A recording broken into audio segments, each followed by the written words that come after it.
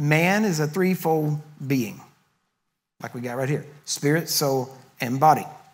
Now, let's, uh, and I know this may be a little technical, not really, but I mean, I want you to understand this. Um, this is not a motivational speech.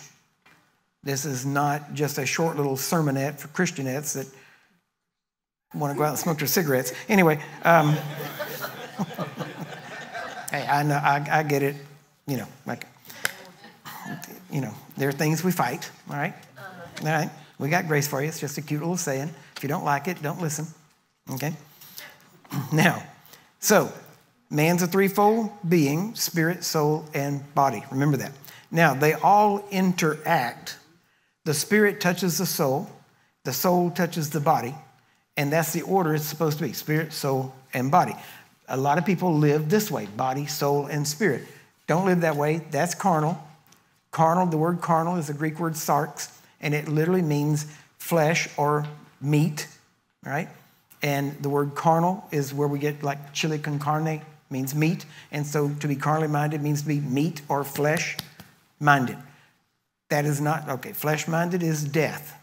Spiritually minded, to be minded by the Spirit, to mind the things of the Spirit, to think and talk and act out of the Spirit is life and peace. No peace, not living by the Spirit. You got that?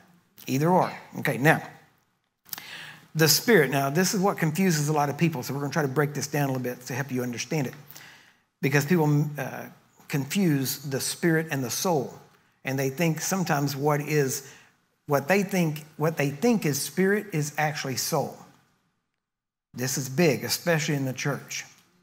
Because a lot of soulish activity in the church, people think that that's a really spiritual church because of the activity. Now, Watchman Nee did a, a really good job in a little book called The Latent Power of the Human Soul, uh, where he talks about some manifestations of the soul as opposed to manifestations of the spirit. And what a lot of people think are manifestations of the Spirit are nothing more than manifestations of the soul of the people in the congregation. The soul of people can do a lot. Okay? We'll, we'll, we'll, be talking about it, but just not today. We don't have the time. So let me give you this the Spirit is the part that must be reborn. That's the real you. That's the part of you that will guarantee you you will live forever. Okay? Born again or not born again, you will exist forever somewhere. Okay? Now, the spirit, you, is the part that has to be reborn or it will spend eternity where you don't want to. Okay? Just that simple. Now, part two the soul is the part that must be renewed. See? Now, you can lose your soul. You got that?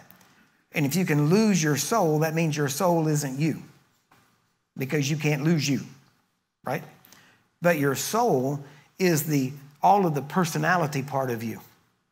And the soul has to do, and we're actually going to look at this, but the soul is the part that must be renewed. The soul doesn't get born again.